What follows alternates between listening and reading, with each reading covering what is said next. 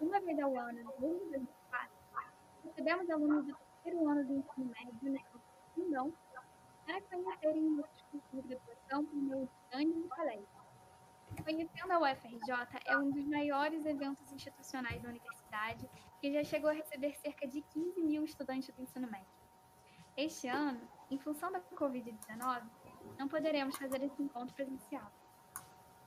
Mas não se preocupa, porque você vai poder viver um pouco dessa experiência maravilhosa de um jeito novo. Aqui vai uma novidade.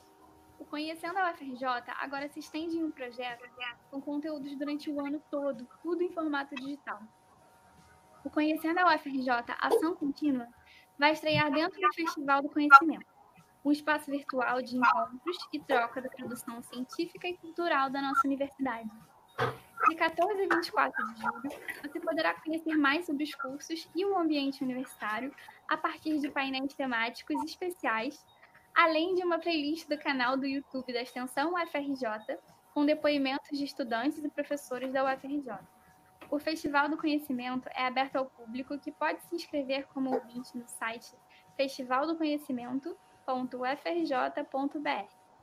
Serão duas semanas de intensas trocas e conversas sobre saúde, ciência, cultura e muito mais.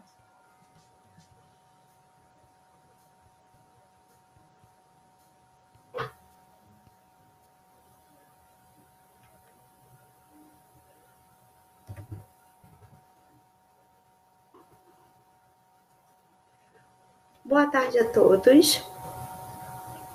É, eu me chamo Débora Henrique da Silva Anjos, sou docente do Instituto de Biofísica Carlos Chagas Filho, é uma das unidades do Centro de Ciências da Saúde, que carinhosamente nós chamamos de CCS. É, eu ressalto o detalhe de nosso CCS, né? Porque eu desejo que todos os interessados a fazer um curso na UFRJ, na UFRJ que consigam esse sucesso e, e participem da nossa história, né? É, eu sei que nós estamos vivendo um momento muito difícil, né? É, esse momento de crise na saúde, crise política, crise moral, situações que nos deixam cada vez mais tristes. Mas apesar de todas as dificuldades, eu acredito que toda etapa não muito satisfatória contribua para o nosso desenvolvimento. Desenvolvimento pessoal, desenvolvimento profissional e que nunca, que nunca a dificuldade faça a gente desistir. Na verdade, nós temos que mudar de estratégia. Então, assim aconteceu com Conhecendo a FRJ nós mudamos a estratégia. Evento grandioso que recebia mais de 15 mil alunos, né, presencialmente, e na verdade agora nós podemos alcançar muito mais do que 15 mil alunos, mas de uma forma remota, temporariamente, que com certeza em breve poderão visitar as nossas instalações. Atualmente eu sou coordenadora de extensão do Centro de Ciências da Saúde, né? E eu estou vivendo, assim como vocês, um mix de emoção. É, emoção de tristeza, alegria, satisfação. Satisfação. E nesse momento de alegria é que eu parabenizo a nossa UFRJ, né?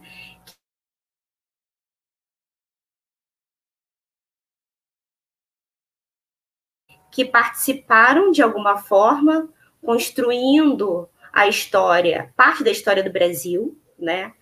É, eu agradeço também a PR5, que é a Pró-Reitoria de Extensão da nossa universidade, pela iniciativa né, de idealizar e executar esse evento grandioso que está sendo bem sucedido, com vários louvores, né? Com vários eventos, atrações maravilhosas, que é o Festival do Conhecimento. E, e para, vamos supor, para continuar a nossa conversa, né? Essa live foi constituída é, terá cinco participantes, que eu vou apresentar na ordem de, de fala. Cada participante terá aproximadamente 15 minutos, né? E em seguida do tempo de fala, vocês vão colocar no chat da live todas as questões, comentários, anseios, e assim a gente pode descobrir um pouquinho mais do nosso CCS nesse momento remoto.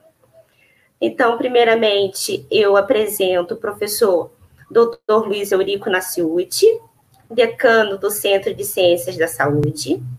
Em seguida, professora doutora Georgia Tela, coordenadora de integração acadêmica. Apresento professora doutora Silvana Lodi, coordenadora de, de pós-graduação e pesquisa. Eu, que já me apresentei para vocês, e a professora doutora Lina Zingali, que é vice-decana do, do, nosso centro. Antes de passar a palavra para o professor Luiz Eurico, eu só vou fazer uma solicitação. Que todos interessados em fazer uma pergunta no chat coloque em caixa alta. Isso facilita muito mais, é, facilita muito mais a observação e dá uma, de, é, uma dinâmica bem mais favorável. Todos devidamente apresentados, passo a palavra para o professor Luiz Eurico.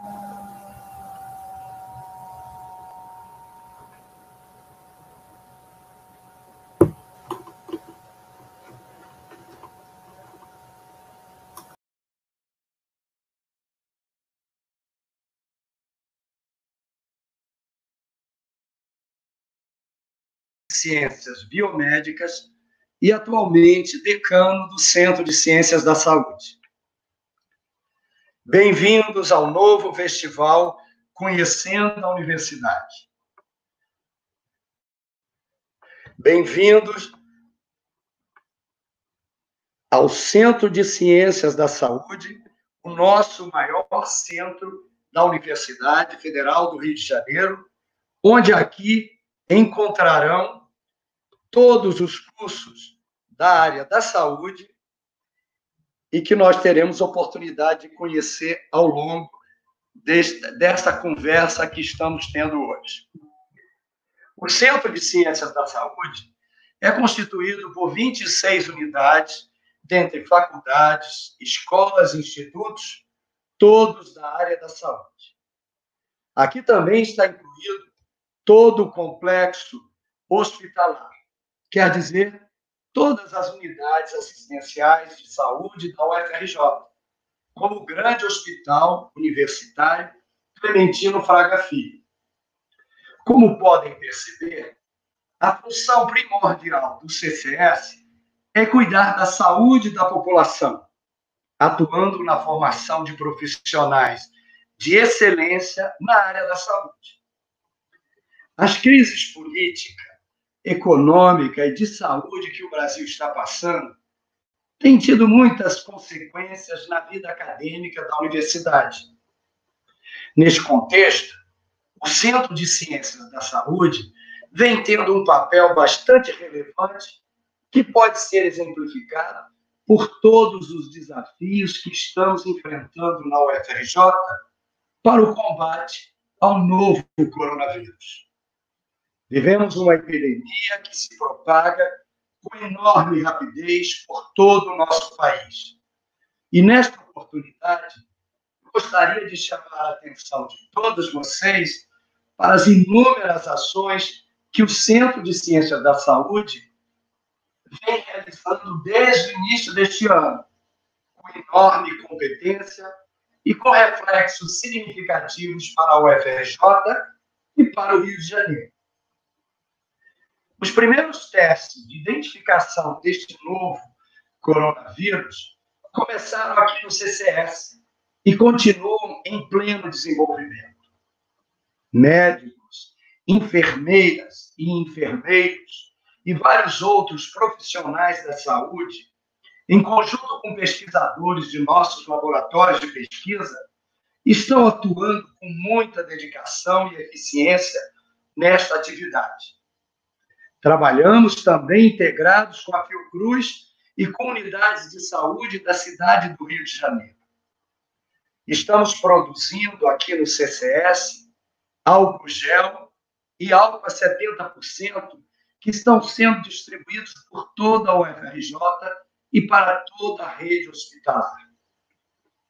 Pela atuação da farmácia universitária do CCS, está sendo possível continuarmos ainda a fornecer medicamentos a muitos pacientes.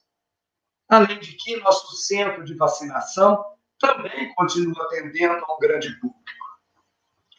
E ainda, o que nos enche de grande orgulho é o fato de que estamos sendo procurados por muitos voluntários, médicos e profissionais da saúde, aqui, recém-formados, estudantes de medicina, enfermagem, farmácia, biologia, biomedicina, fisioterapia, todos querendo ajudar, colaborar e mostrar que estamos cumprindo o nosso papel social.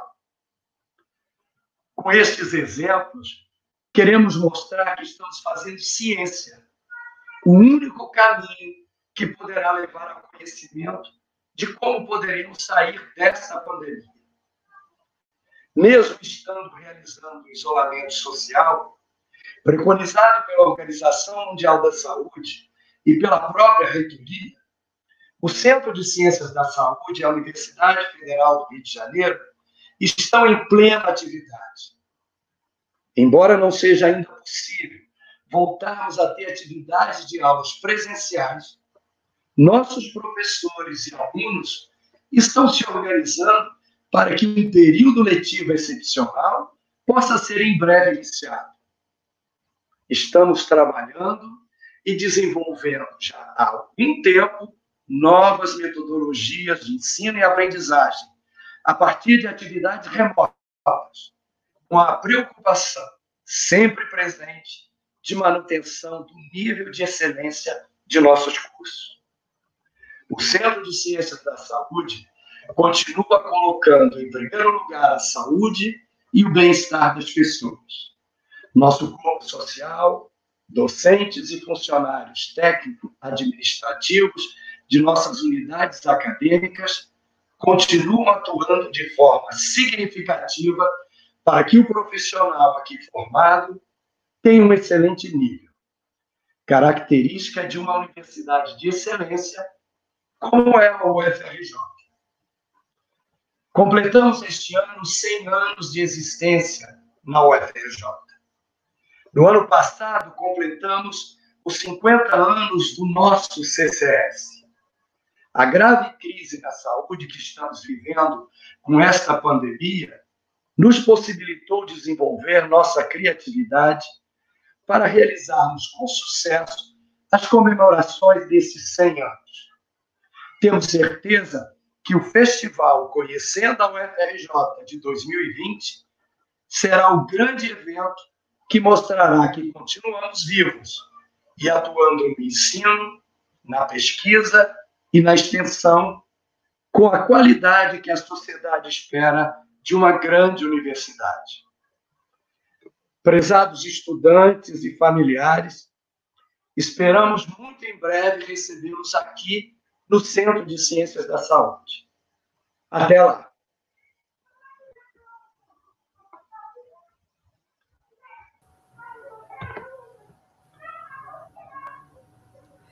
Bem, é com o término da fala do professor Luiz Eurico, encaminho a fala para a professora Georgia Tela.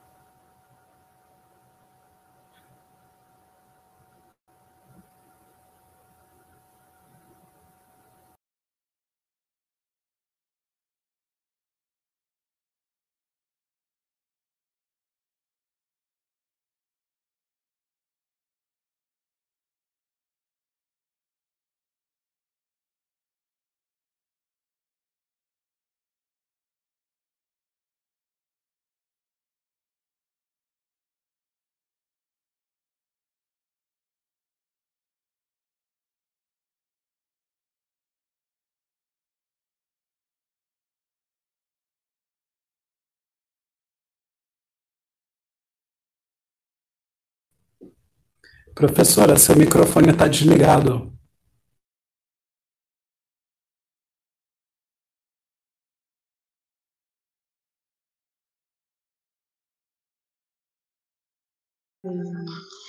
Pronto.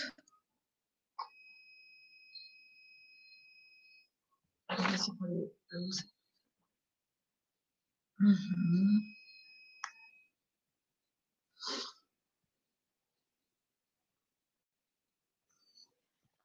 Então, vamos lá. Então, meu nome é Georgia Tela, como a professora Débora falou, sou coordenadora de graduação do Centro de Ciências da Saúde. É, primeiro de tudo, vocês que estão terminando o ensino médio, né, estão próximos disso, eu queria dar, dar os meus parabéns. É uma grande conquista terminar essa etapa importantíssima para o resto das suas vidas. Terminar o ensino médio significa que vocês estão com os dois pés à frente no mundo, tá? Então, aproveitem é, mais da metade dos brasileiros não consegue terminar essa etapa, que é o ensino médio. Né? Então, podem se orgulhar disso. É, nesse momento, agora vocês têm várias possibilidades, né? Uma delas é a universidade. Então, vocês estão vindo conhecer a UFRJ, né? Que é um mundo novo, né? Ser desbravado, e CCS, que é o Centro de Ciência e Saúde, né? Então, bem-vindos ao nosso centro. Ah.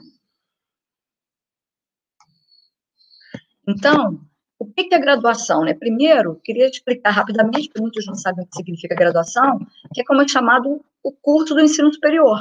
Né? Então, esse é o primeiro nível da formação universitária. Então, o nosso centro, que é o maior dessa universidade, tem vários cursos de graduação. Então, aqui vocês estão vendo todos eles. Né? Então, a gente tem a uh, Escola de Educação Física e de Esportes, bacharelado em Educação Física, licenciatura em Educação Física, bacharelado em Dança, licenciatura em Dança, Teoria da Dança. É, faculdade de Medicina com a Fisioterapia, Fonoaudiologia, Medicina, Terapia Ocupacional. Faculdade de Farmácia com a Farmácia Diurna, curso noturno e curso diurno.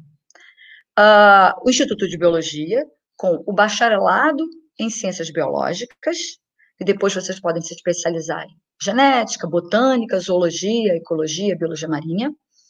Licenciatura em ciências biológicas, diurno. Licenciatura em ciências biológicas, noturno. E uma terceira modalidade, que é a licenciatura em ciências biológicas, é na modalidade à distância, o EAD.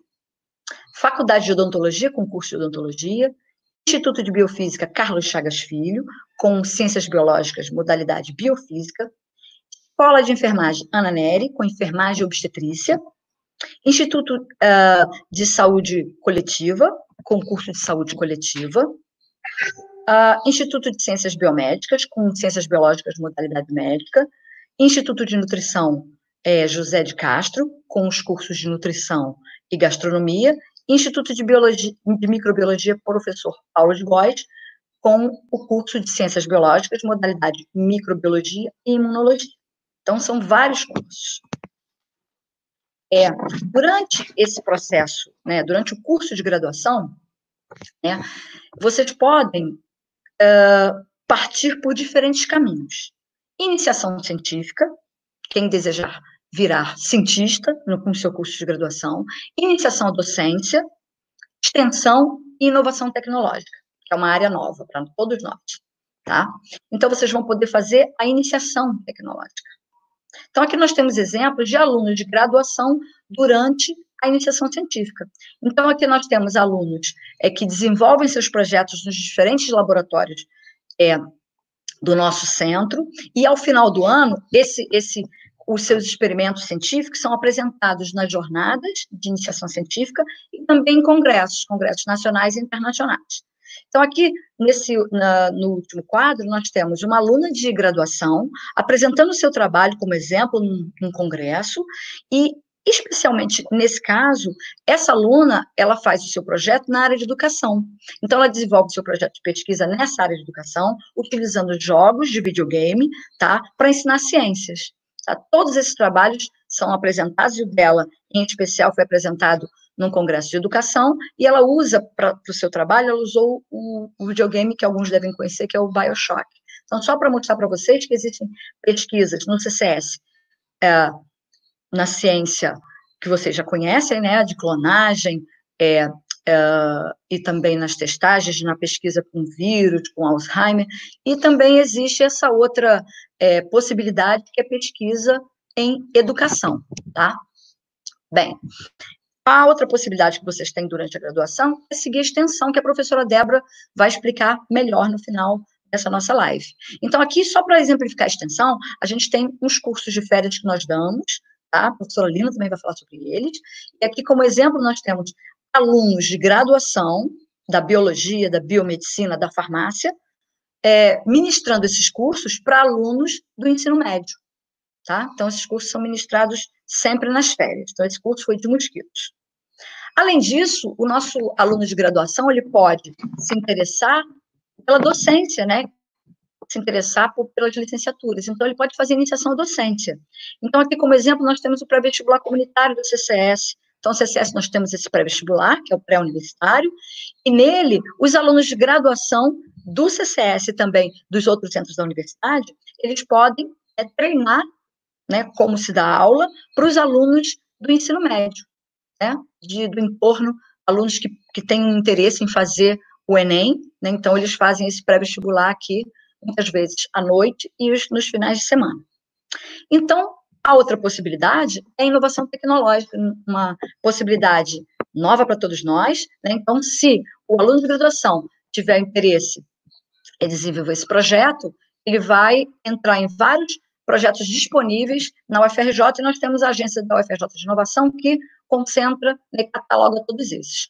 O, uh, uh, esse projeto de inovação, os alunos podem participar do desenvolvimento de tecnologia, né, gerando um produto ou um serviço é, vindo de uma demanda da sociedade. Nesse momento, na nossa sociedade, a gente tem uma demanda muito grande, é que todos nós sabemos qual é, que é a Covid-19. Né? Então, nesse contexto, uh, todos os cursos uh, do CCS, da universidade, eles resolveram contribuir com as suas habilidades, suas especialidades, para o enfrentamento dessa pandemia. E os alunos de graduação do CCS e, e dos outros centros também participam ativamente dessas ações. Então, aqui como exemplo, nós temos é, um pequeno grupo de ações durante a pandemia, né? Então, nós temos as lives informativas, então, a microbiologia, a imunologia, a enfermagem, a fisioterapia, a fonoaudiologia, saúde coletiva, NUTES, NUBREA, todos esses essas unidades, eles participam de lives. Então, aqui a gente tem exemplos das lives que essas unidades é, ofereceram e ainda oferecem, né? Com a participação sempre de alunos de graduação.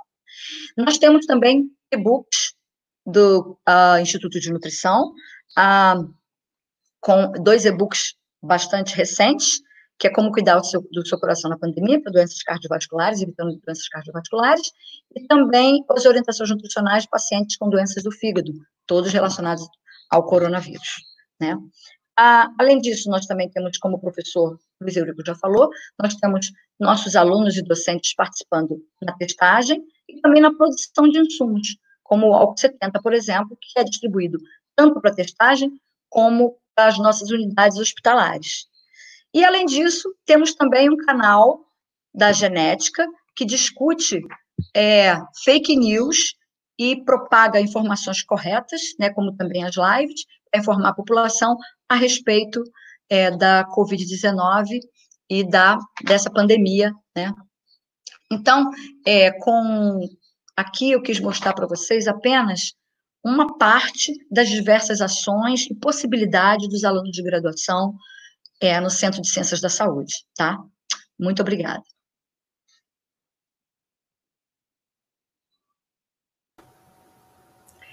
Em sequência, então, podemos ouvir a coordenadora de pesquisa e pós-graduação, professora Silvana Lotti.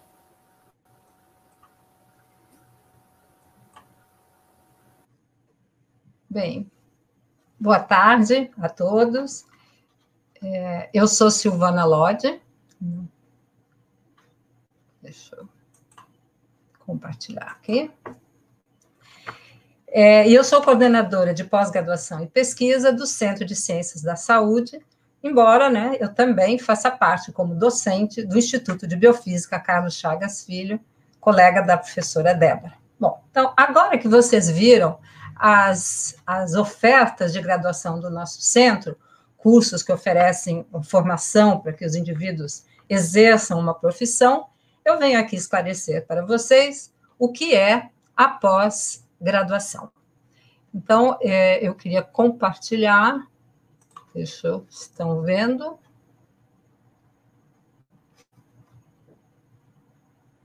Agora. Né? Ok.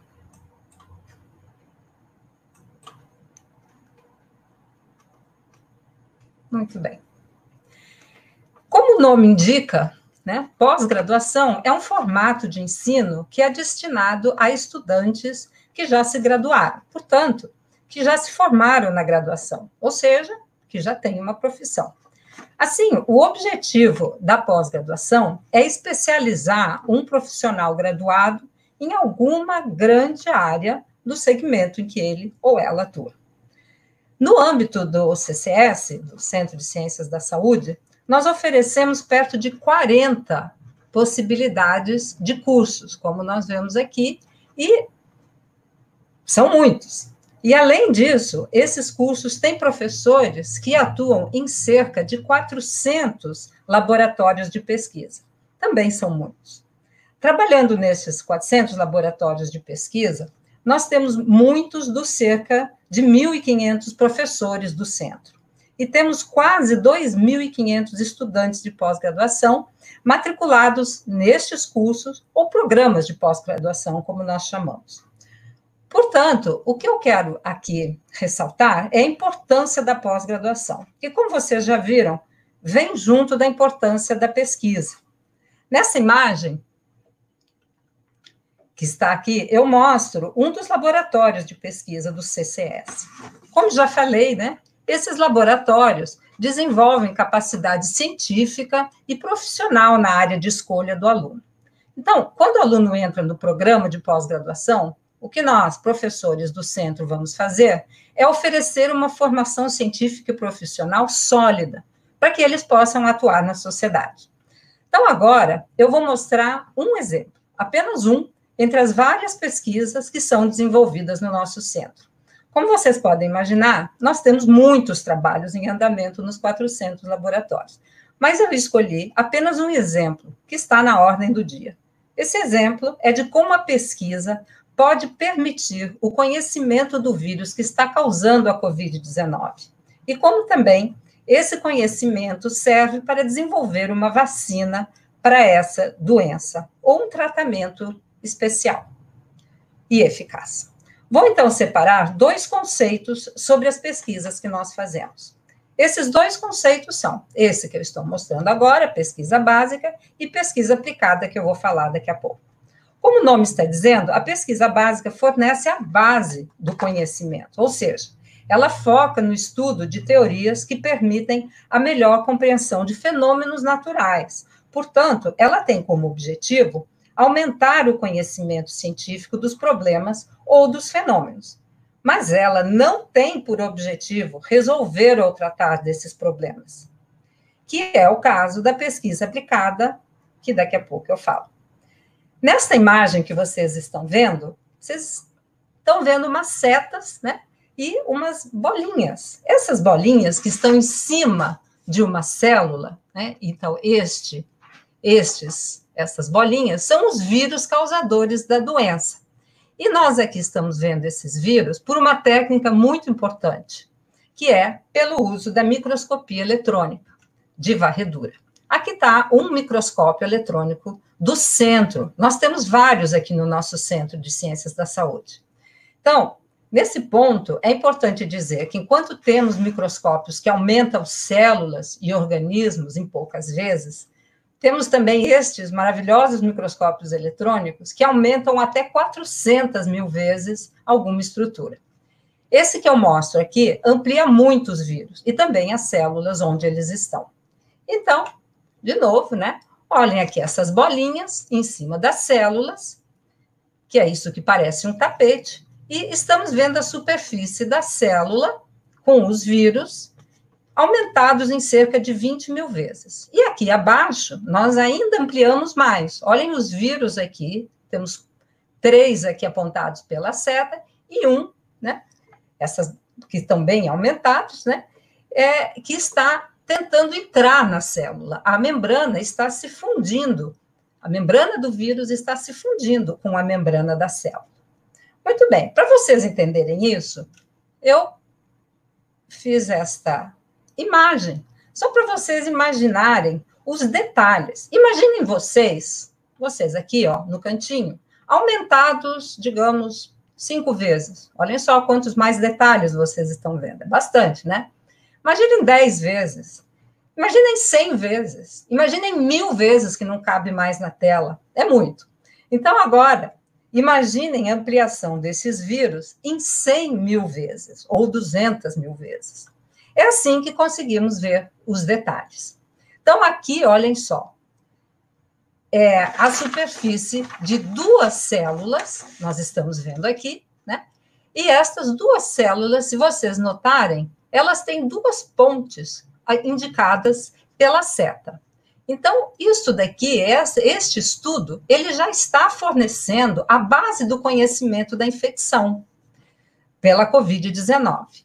Então, reparem que aumentando uma dessas pontes, tem duas aqui, tem outra ponte aqui, na figura de baixo, esta ponte está mostrando estas duas células em maior aumento ainda e os vírus passando de uma célula para outra. Isso foi o que pesquisadores daqui do CCS é, recentemente viram e publicaram num artigo científico para que o mundo conhecesse como se dá a infecção de uma célula para outra por esse vírus. Como uma célula pode infectar outra, é uma descoberta muito importante, que embasa o que se pode aplicar dessa pesquisa, que é, então, o que a gente chama de pesquisa aplicada. Já que esta usa pesquisas científicas para desenvolver tecnologias ou técnicas para intervir né, e alterar fenômenos naturais ou de outro tipo. Nós temos aqui também no Centro de Ciências da Saúde que desenvolvem técnicas. Por exemplo, ainda com foco na Covid-19, técnicas de respiração mecânica, que, como vocês já viram na mídia, são muito importantes para pessoas que estão com casos graves da Covid-19. Aqui também no centro, nós temos laboratórios que desenvolvem essas técnicas de respiração mecânica, além de desenvolverem novos medicamentos que podem vir a tratar e que podem vir a ser muito eficazes no tratamento da Covid-19, além de desenvolverem vacinas para impedir a disseminação do vírus. Tudo isso está sendo estudado aqui no Centro de Ciências da Saúde. E notem que isso que eu mostrei foi um exemplo de alguns laboratórios. Nós temos 400, se vocês se lembrarem. E tudo isso é feito com o trabalho de professores e dos estudantes de pós-graduação, de mestrado e de doutorado, portanto. Mais exemplos a professora Lina Zingalho vai dar, vai mostrar para vocês. E eu encerro, então, dizendo que os cursos de pós-graduação preparam os profissionais já graduados para trabalhar em pesquisas da saúde, sejam elas pesquisas básicas ou pesquisas aplicadas. E eu espero ver vocês após a graduação aqui na pós-graduação. Muito obrigada.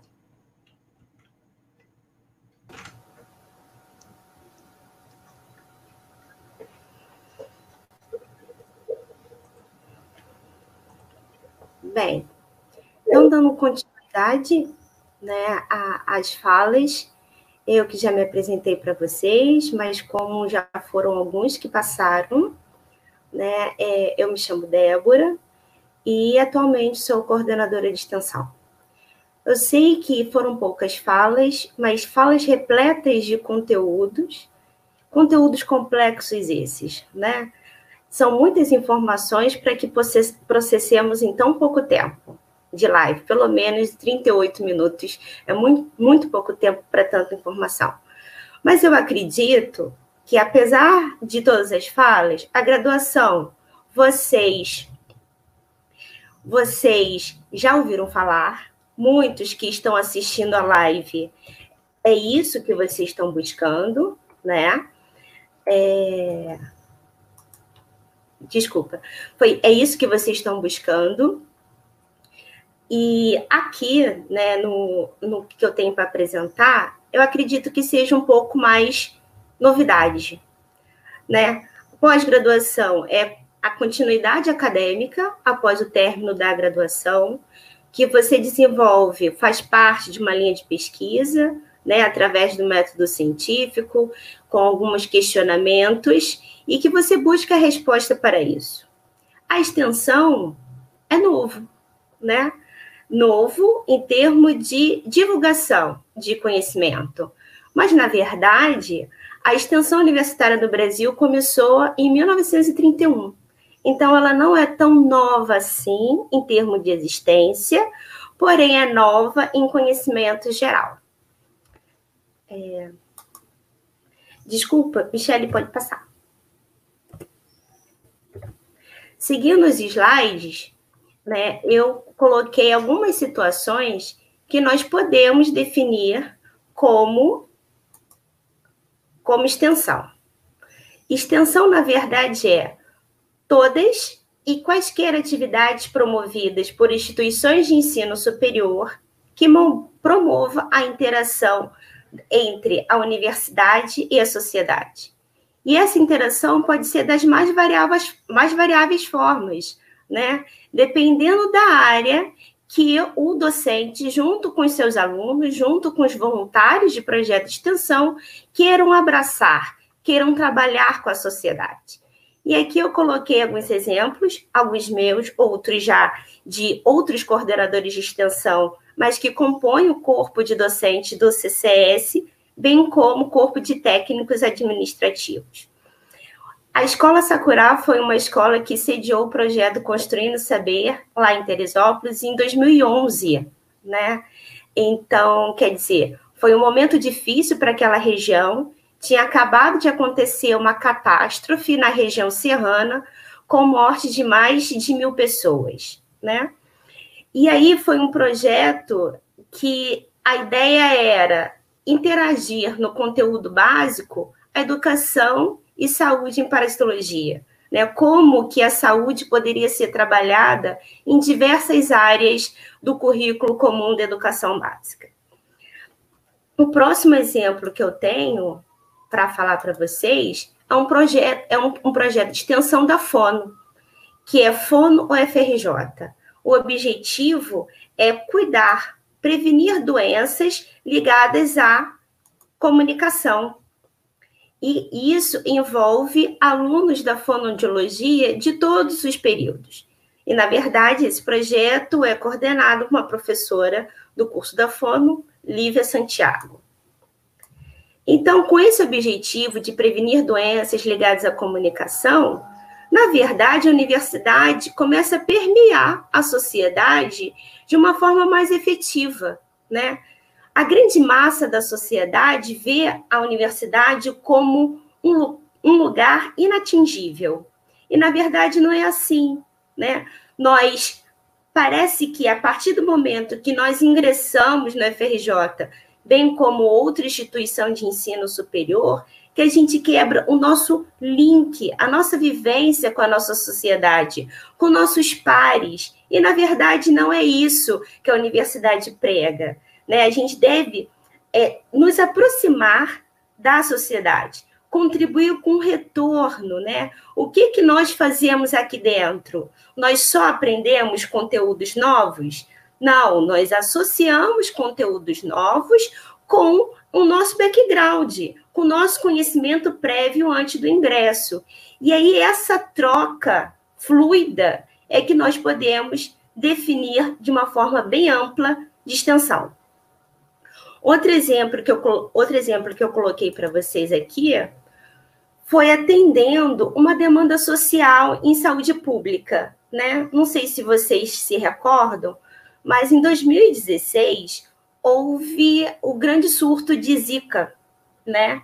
E todos nós sabemos que o vetor do vírus que causa vicas, Zika é o famoso Aedes aegypti. Aquele mosquito todo poderoso que consegue abraçar, carrear, infectar várias pessoas com diferentes tipos de vírus. E aí, no caso, eu coordenei um projeto atendendo essa chamada pública feita pelo Ministério da Saúde e de Educação também, para que esse contexto fosse trabalhado em unidades escolares, né? Então, esse, na verdade, esse projeto foi desenvolvido em Engenheiro Paulo de Fronten. Aqui as fotos eu mostro né, que é reunião a, na sala de aula com os alunos que abraçaram essa ideia. É, na foto, mais da direita, no canto superior, tem a participação da professora da discussão. E na última foto, no ambiente mais amplo, tem toda a equipe que participou desse projeto.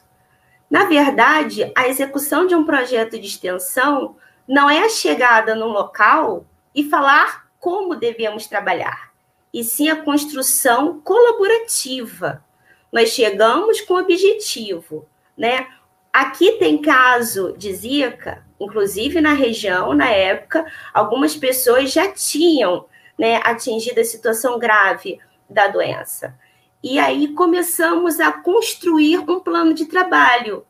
Então, apesar de serem alunos da, da, do ensino fundamental da segunda etapa, né, eles não sabiam efetivamente o que, que era o método científico, como construir hipóteses, metas, metodologia, eles não sabiam a nomenclatura relativa a isso, mas todos tinham perfeitamente a noção o que deveriam fazer para atingir tais objetivos. E foi nesse contexto que nós trabalhamos muito, foi extremamente prazeroso e, por surpresa nossa, ganhamos menção honrosa na Semana de Integração Acadêmica de 2017. Outra situação de projeto extensionista, outro exemplo, é um projeto desenvolvido pela Educação Física da UFRJ, coordenado pela professora Michele é, Fonseca, onde que ela desenvolve educação física de método inclusivo numa escola municipal, né? Então, a introdução do lúdico facilita muito o processo de ensino-aprendizagem, né? Poderia gastar a noite inteira falando de vários exemplos, né, que na verdade nós não podemos. Aqui só para listar, listar algumas vantagens da extensão, né?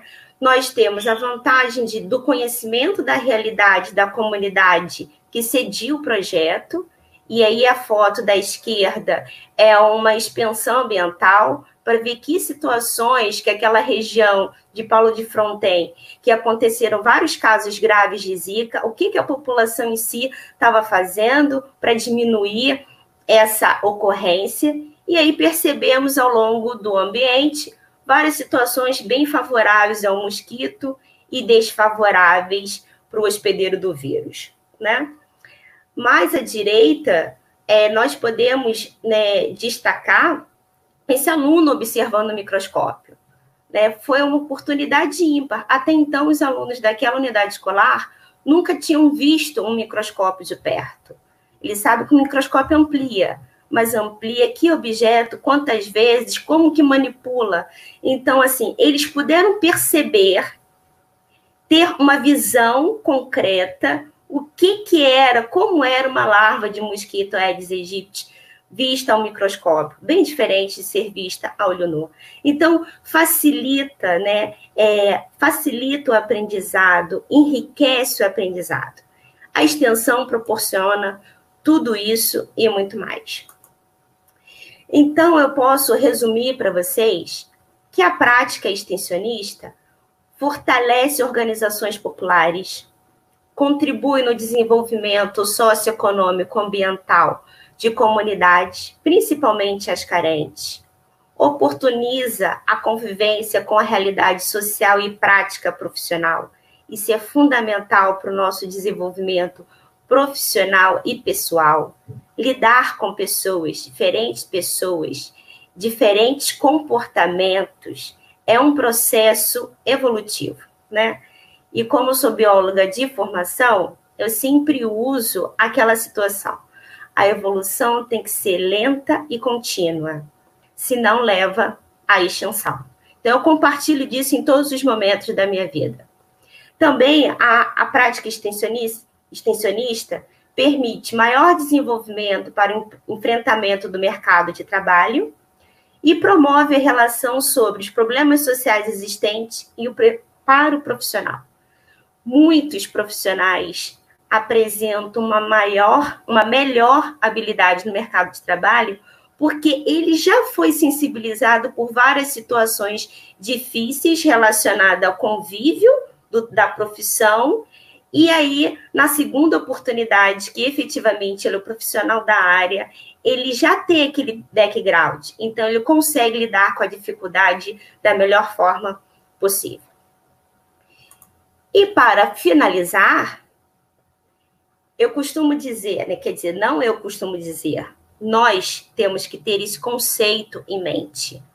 Ensino, pesquisa e extensão constroem a tríade universitária que é o alicerce de toda e qualquer universidade, principalmente as públicas, né?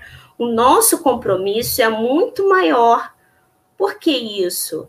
Nós estamos aqui devido à sociedade.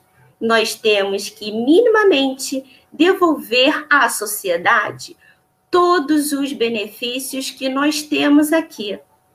É compromisso né? É cumprir esse papel social é extremamente importante. E já que é extremamente importante devolver à sociedade tudo o que ela nos dá, a extensão passou a ser uma parte obrigatória do currículo escolar. Então, não existe, né, não existirá daqui a pouco tempo, nenhum graduando que poderá se formar sem ter vivenciado minimamente uma prática extensionista. Isso é extremamente importante, extremamente enriquecedora para nossa para o nosso desenvolvimento, tanto pessoal quanto profissional. Bem, e para finalizar, realmente, eu é, faço, ressalto né, que o Conhecendo FRJ tem uma playlist no YouTube. Então, que todos possam assistir com mais calma, em momentos variados, essa playlist. Enfim, isso é que eu tinha para falar para vocês. Muito obrigada pela atenção e passo a palavra para a professora Lina Zingali.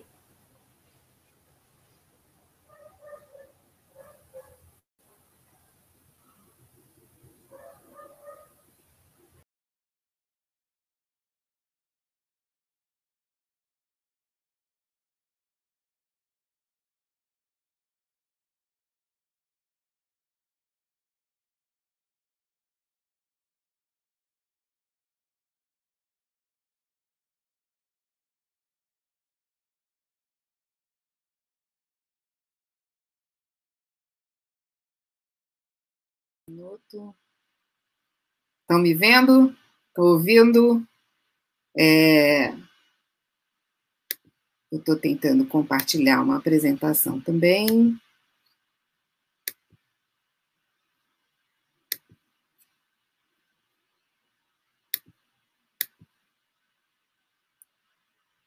É, o compartilhamento não está funcionando.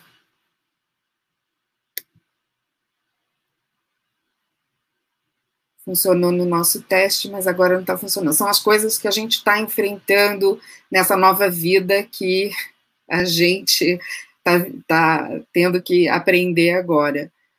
É, eu vou pedir, então, para o pessoal compartilhar. Eu tinha feito algumas modificações, mas vocês podem compartilhar para mim? Eu vou tentar mais uma vez, tá? Tentar mais uma vez.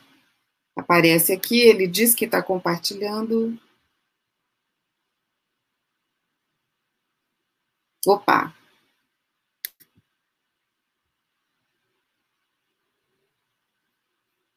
Não está funcionando. Opa, apareceu. Ok. Então, gente, Boa tarde a todos. Eu quero dar as boas-vindas, esperando que a gente possa se encontrar em breve. Eu sou Lina Zingali, eu sou professora de bioquímica e também sou vice-decana do Centro de Ciências da Saúde. É, eu queria começar essa apresentação fazendo uma homenagem a todos os profissionais de saúde, que alguns de vocês vão ser no futuro, né? São profissionais que vêm trabalhando no combate ao Covid-19. Vários artistas fizeram homenagens que circularam na internet. Algumas ilustrações estão aqui nessa figura. Fica aqui um agradecimento especial a esses verdadeiros heróis que nos ajudam todos os dias, muitos deles formados na nossa instituição. É, mas eu fui encarregada de falar para vocês sobre o que o CCS tem de mais especial. E eu fiquei pensando muito tempo, quer dizer, não muito tempo, mas a resposta mais óbvia e rápida de quem conhece bem o CCS, a primeira coisa que veio à mente foram as pessoas. As pessoas são aquelas que constroem o nosso centro. Os conhecimentos que foram adquiridos ao longo do tempo são aqueles que vão permitir que a gente faça todas essas atividades que, e mais um pouco do que eu vou mostrar para vocês. Começando com os nossos professores, vocês vão encontrar professores dedicados, muito bem formados, na sua maioria doutores e pesquisadores excelentes são reconhecidos nacional e internacionalmente por seus trabalhos no ensino, na pesquisa e na extensão, como a Débora falou. Né? Muitos deles foram formados por outros cientistas e educadores, gente muito importante como o Carlos Chagas Filho, o Walter Cruz, filho do Oswaldo Cruz, o Darcy Fontoura, Leopoldo Demez, Herta Maia, são, foram vários, vários cientistas importantes que são é, que formaram os novos, os professores mais novos que hoje atuam no nosso centro. Além dos docentes, a gente vai encontrar também os técnicos administrativos, que dão toda a sustentabilidade à nossa organização, para que todos possamos cumprir a nossa missão, dando suporte é, para a nossa vivência na universidade, para que a nossa vivência na universidade seja a melhor possível.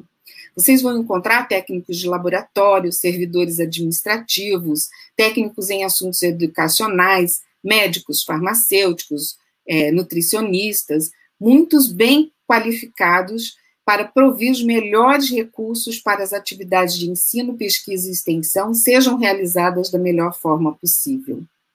E claro que nessa comunidade, outra parte essencial são os alunos. Sem eles, a universidade não tem sentido.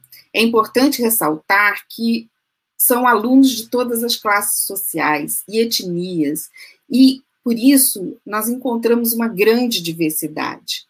Esse amálgama de pessoas diferentes, com diferentes ideias e bagagens, é que faz a universidade e o Centro de Ciências da Saúde serem reconhecidos como um polo importante na formação de profissionais de alta qualidade.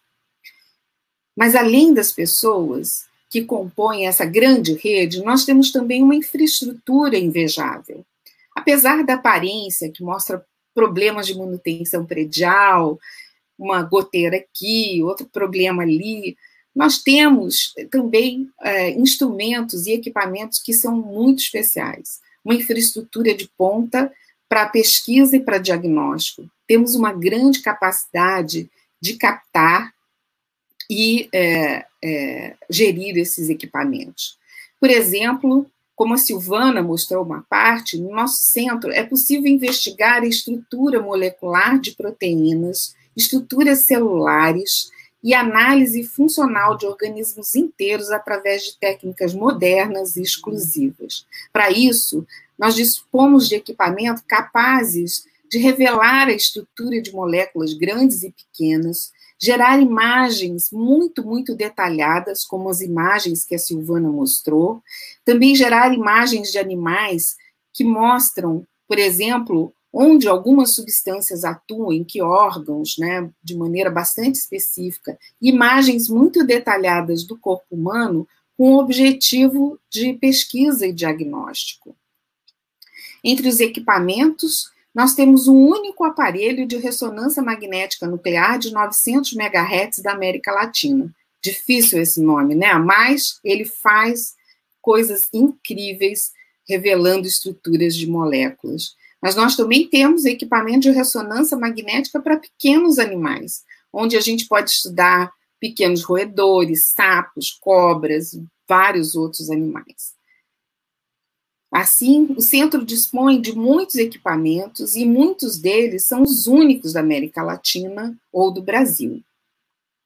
Outro aspecto que diferencia o Centro de Ciências da Saúde é a sua integração com o Polo de Tecnologia da UFRJ e também sua interação com diversas empresas, grandes, médias, pequenas. Essa interação permite que o CCS possa desenvolver produtos inovadores na área da saúde, como já foi falado aqui.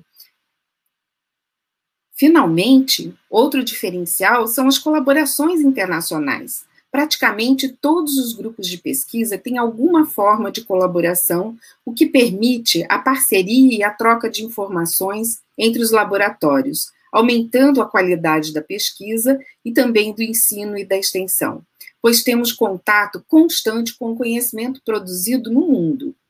Como exemplo, nós tivemos por três anos, é, como pesquisador visitante no CCS, o professor Vutres, que é ganhador do Prêmio Nobel de Química em 2002 pelo seu trabalho em ressonância magnética nuclear de proteínas. Ele foi orientador de nossos alunos num dos cursos de pós-graduação, aqueles que a Silvana comentou.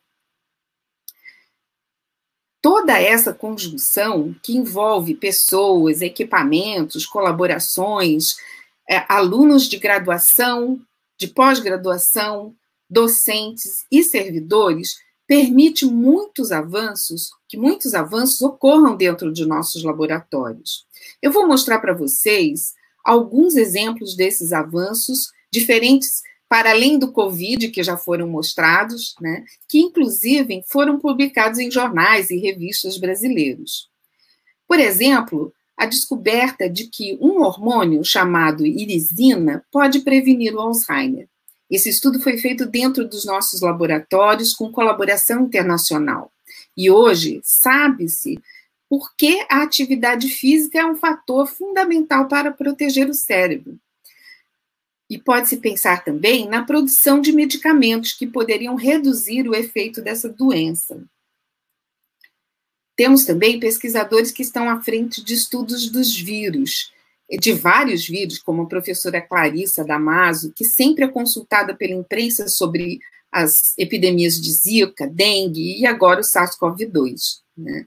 É, assim, temos também médicos epidemiologistas que são consultados frequentemente pela mídia para opinar sobre vários assuntos de saúde, como o doutor Roberto Medronho, o doutor Celso Ramos, doutor Edmilson Migoves, entre muitos outros.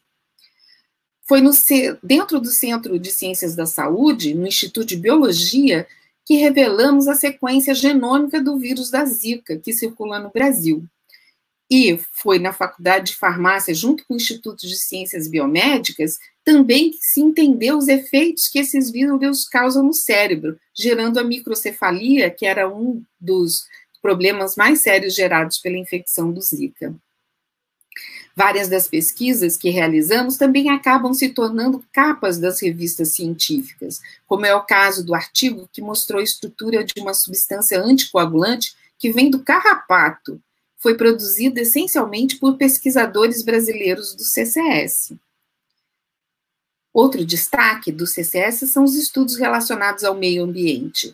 E uma de nossas professoras do Instituto de Microbiologia tem um projeto de muito sucesso que foi premiado internacionalmente. A doutora Raquel Peixoto estuda corais, que são fundamentais para preservar a saúde de nossos mares.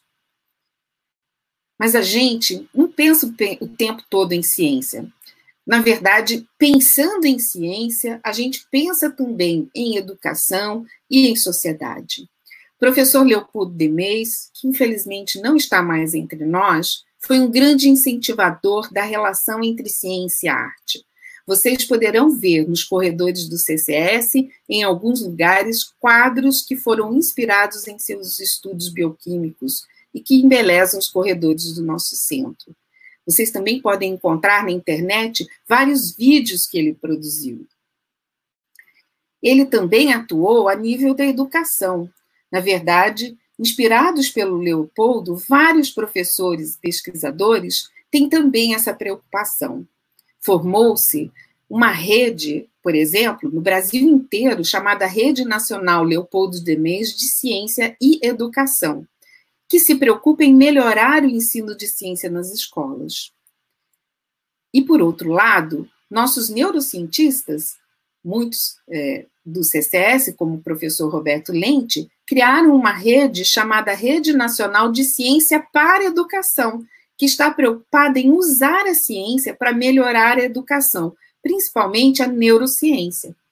Além disso, temos outras iniciativas, como Ser Cientista, Microbiando, que é um, post, um podcast. O projeto Fundão, por exemplo, forma professores de biologia mais de 40 horas.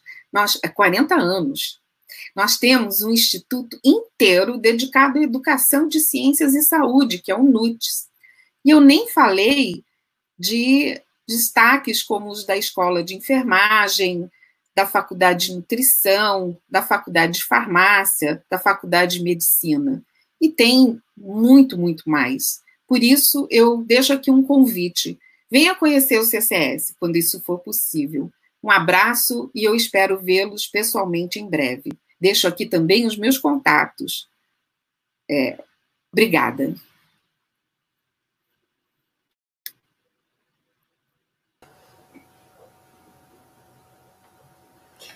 Obrigada, Lina.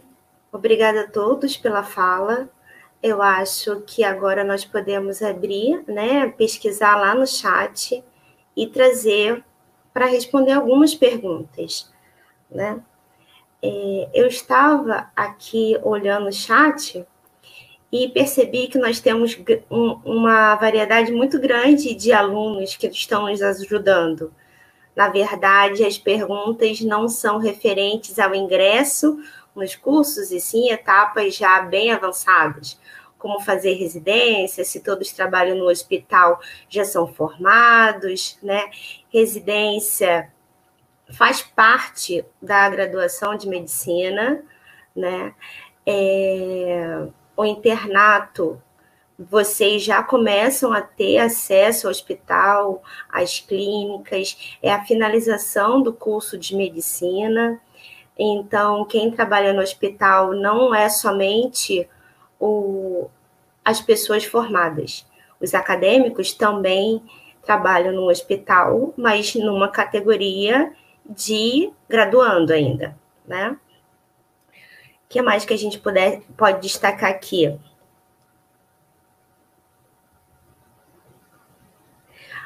Então, que momento que está aberto para fazer perguntas? Todo o processo, né? Desde o início da nossa fala e agora, até aproximadamente mais 50 minutos, vocês já podem inscrever as suas perguntas e aí não, não efetivamente eu responderei todas, né? Seria uma forma muito egoísta de participar de uma live. Todos participarão na resposta.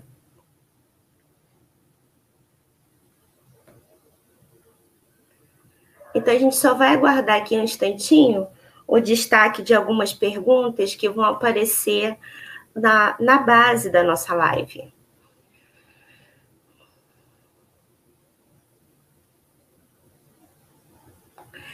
Então, desculpe a letrinha, né? Como eu já passei dos 15, há uma certa dificuldade para eu acompanhar todas as postagens. Se eu não me engano, essa primeira pergunta foi se vocês podem, se pode fazer, participar do internato no início da graduação, foi isso mesmo? É, Débora, é, Sim. deixa eu, eu comentar alguma coisa sobre isso. Né? Perfeito. É Juliana que está questionando isso, não é? Bom, Juliana, isso. olha só. O, o curso de medicina ele sofreu uma importante modificação é, alterou muito do seu currículo nos últimos dois, três anos. E durante o curso de medicina, o aluno, desde o início, ele tem a oportunidade não só de frequentar laboratórios de pesquisa que podem estar desenvolvendo ou que desenvolvem pesquisa básica, mas eles também têm a oportunidade de, desde o início, desde o primeiro ano, de frequentar o hospital universitário. Então, esta nova é, é, modificação do curso mudou muito e melhorou muito a, a, medicina dentro dessa relação do estudante e de o fazer ou ser médico. Então, você vai ter a oportunidade de, ao longo dos, dos anos, participar, vivenciar diretamente vários, vários institutos dentro da, da medicina, várias áreas dentro da faculdade de medicina, estágios que você pode ficar mais, um maior ou menor tempo, ter uma iniciação científica, ser um bolsista de iniciação científica, e após a sua graduação, você poderá então fazer uma residência. Uma residência que já tem uma conotação completamente diferente. Você já é, será um, um, médico que vai uma médica que vai é, se especializar numa área específica. Então, esta oportunidade que se tem desde o início do curso, que a medicina proporciona, também é usada e é utilizada em todos os cursos da área da saúde. Todos os cursos, é, você tem a oportunidade, qualquer estudante, qualquer aluno, tem a oportunidade de frequentar laboratórios de pesquisa de fazer estágios, de desenvolver projetos de pesquisa, os vários exemplos que já foram mostrados aqui é, pelas nossas colegas. É, eu estou vendo aqui, não sei se alguém quer fazer algum comentário, eu estou vendo aqui que a, a Nata Lima está pedindo algum, alguma coisa, que a gente fale alguma coisa sobre a biblioteca. A biblioteca para os cursos da área da saúde. É, a biblioteca ela é fundamental, evidente. A, o Centro de Ciências da Saúde tem uma grande biblioteca, um espaço muito grande, que sofreu um, uma série de, de problemas e que, infelizmente, teve que ser reduzir o seu atendimento. Todo o nosso acervo de livros, de revistas, de material está presente na biblioteca, está guardado, está cuidado. Mas nós estamos ainda passando por um momento de grande reestruturação da nossa biblioteca. E isto foi bastante prejudicado depois que nós entramos é, nesta fase da pandemia e do isolamento social. Mas a, a biblioteca tem uma série de recursos e cada estudante tem a possibilidade de, via internet, de, pelos vários sites, é, se conectar a vários artigos, a vários livros, a vários capítulos de livros que podem auxiliar ao longo do curso. Né? Então, é, existe essa possibilidade, nós estamos aguardando. No momento que voltarmos deste, deste isolamento social, que a gente possa voltar aos trabalhos de recuperação total da nossa biblioteca, que é fundamental. É, parece que a Lina quer fazer algum comentário, é isso? Não? Eu vi uma outra questão não, não preciso só eu responder, tá, minha gente? Eu vi uma outra. É, alguém quer fazer um comentário sobre como funciona. A especialização. Como funciona a especialização em obstetrícia. Em obstetrícia. É, realmente a gente tem, teria que ter uma noção, teria que ver, porque realmente é dentro da medicina, dentro da, da obstetrícia, né, que é uma área bastante específica, aqueles estudantes de medicina ou que vão se especializar nessa área terão então que frequentar é, os laboratórios específicos, a maternidade escola, e vão ter a oportunidade, é claro, junto com os coordenadores de curso, desenvolver esses estágios.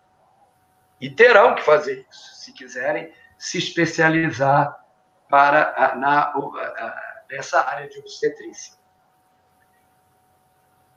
Infelizmente, teríamos que ter umas pessoas mais especializadas do Instituto para poder é, comentar exatamente como funciona isso. É, o Murilo Lucas está perguntando como fica a questão do vestibular, se será somente pelo Enem. Sim, por enquanto, o vestibular dos cursos presenciais da UFRJ é somente, são somente pelo Enem, o ingresso. Apenas os cursos é, do ensino à distância, EAD, que a universidade tem, é o curso de Química, Física, Biologia e Ciências Contábeis, é, temos ingresso pelo Enem e também temos um vestibular próprio do CEDERJ. Uhum.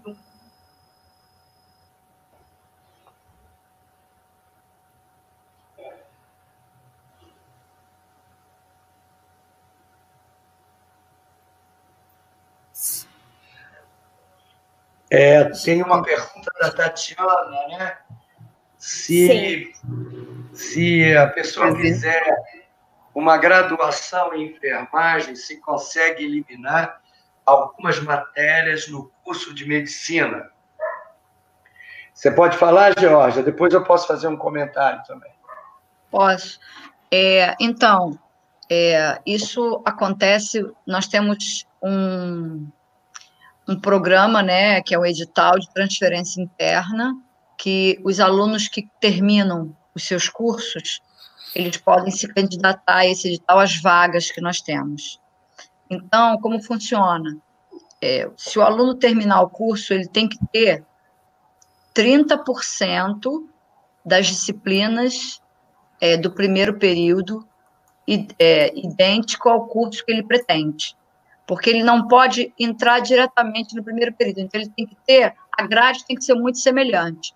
Então, alguns casos, nesse caso, ela quer transferir de enfermagem para medicina.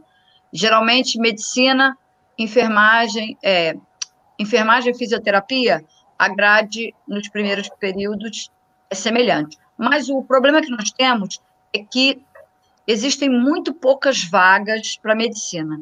E hoje em dia nós fazemos a seleção através da nota do Enem. Então a nota é, é a seleção que é. Porque, como tem muitos candidatos, nós fazemos a seleção através da nota. Então, você precisa ter a, a grade mais semelhante. A enfermagem e a medicina têm as do básico, são as mesmas. Georgia, é, desculpa, professor. Pode, pode falar, pode falar, Débora o senhor vai complementar essa de transferência de curso, não é? Comple troca de transferência. curso. É, eu ia falar sobre isso. Transferência. Assim, além desse aspecto que a professora Georgia comentou, que é que a transferência interna a, depende da disponibilidade de vagas, e é evidente que a medicina é um dos cursos mais procurados, é muito difícil você ter vagas dentro da medicina, mas sempre é, é, pode acontecer, né? Mas uma coisa que eu queria comentar é que qualquer curso que você fizer na UFRJ, você tem, faz uma série de disciplinas. E quando você vai para outro curso, você pode é, colocar as disciplinas que você fez, algumas escolher, que possam ser é, é, devidamente reconhecidas no outro curso. Isso dentro da UFRJ é qualquer disciplina que você fizer em outro curso tem a possibilidade de ser reconhecida no outro curso, desde que seja da universidade que tenha compatibilidade. Então, isso também é, é um fator que pode é, atuar e auxiliar nessa questão de, de transferência de. Eu não, é, eu participo bastante do curso de medicina, dou aula para principalmente os, os alunos de medicina do terceiro período, e eu devo dizer que a carga horária semanal da, da medicina nos primeiros semestres é uma carga horária intensa, uma carga horária muito grande. Mas, como o que eu falei antes, nessa mudança que houve no currículo da medicina, já foi é, modificado um pouco a quantidade de aulas presenciais que você é, tem no curso, mas colocando mais espaços para a oportunidade de estágios e de vivenciar práticas mais voltadas para essa área. Mas a, a, essa carga horária semanal é uma carga horária que envolve ó, a participação do estudante todos os dias, de manhã e de tarde, ou em atividades diretamente com os professores ou em outras atividades de laboratórios, atividades práticas, etc. Tá? Silvana, eu posso responder? É, posso responder uma pergunta da Júlia Souza, que está desesperada aqui? Ela já fez a pergunta há cinco minutos. Ela já pediu até outras pessoas para fazer a mesma pergunta para ver se ele, eles respondem. Então, é, nós, em relação ao primeiro semestre do ano de 2021, já que o Enem só vai ser em janeiro. Então, é uma preocupação com a todos os alunos é, que estão fazendo o ensino médio, né? Eu tenho um aqui em casa, meu filho também vai fazer o Enem em janeiro, então é uma preocupação normal. É, então, nós estamos agora com o nosso período letivo excepcional, né? Que não é presencial. Provavelmente teremos o período letivo excepcional 2. Então, a gente acredita que depois do Enem sendo em janeiro, provavelmente os cursos de os nossos cursos 2021 barra 1, eles vão iniciar entre março e abril, é o que, é o que a gente tem no momento. É, a pandemia, toda essa situação que nós vivemos, ela é muito nova para todos, para vocês e para nós também. Então, nós estamos trabalhando com, com essas possibilidades. A gente não pode fechar nada, porque a gente não sabe ainda o que, que vem né, o que, que vem a acontecer, se vem uma segunda onda, se vem uma vacina, se vem um remédio. Então, nós estamos trabalhando dessa forma, tá? Com esse primeiro período agora, o segundo, e provavelmente 2021 barra 1, começando março ou mais provavelmente em abril. Agora tem uma pergunta que podemos direcionar para a Silvana. É da Júlia Ramos. Júlia, é, eu sou neurocientista, então acho que você fez a pergunta para a pessoa certa. Além, então, de coordenar a pós-graduação, os programas de pós-graduação, eu sou de um programa no Instituto de Biofísica, como docente, que é o chamado Programa de Neurociências. É um programa, é, vamos dizer, é um departamento dentro do Instituto, tá? Bom, então, para você fazer é, uma, é, para você ser neurocientista, você pode fazer qualquer curso de graduação do CSS. Você pode fazer é, fisioterapia, medicina, farmácia, ciências biológicas, modalidade médica, ciências biológicas, modalidade microbiologia. Nós temos uma neurocientista no nosso programa que fez curso de ciências biológicas, modalidade microbiologia porque todos eles te dão uma base, a base, um conhecimento de todos os sistemas, né, incluindo o sistema nervoso, de todas as células, incluindo os neurônios e as outras células que estão no sistema nervoso. Então, você pode fazer qualquer curso.